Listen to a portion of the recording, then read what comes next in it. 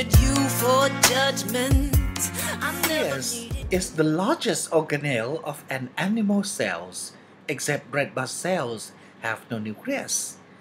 It contains the whole genome of an organism and controls all cellular activities.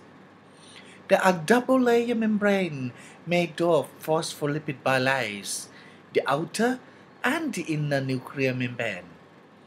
There are some fusions between those two membrane layers by specific proteins forming a pore structure called nuclear pore complex, which is used for transportation of large molecules in and out the nucleus.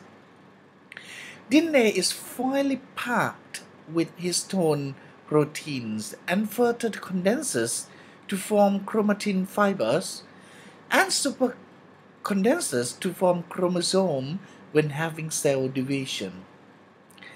The darkest area inside the nucleus is represent nucleolus, in which small and large subunits of ribosome is synthesized as well as the certain RNA processing.